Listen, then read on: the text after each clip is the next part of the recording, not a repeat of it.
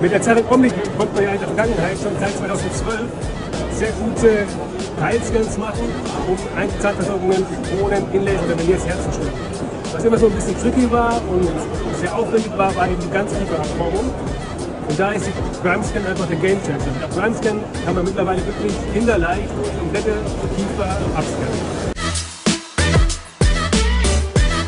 Wenn man bei der Omnicam zeitweise nochmal Ruder gebraucht hat, um repetierende Flächen abzudecken, entfällt das bei der PrimeScan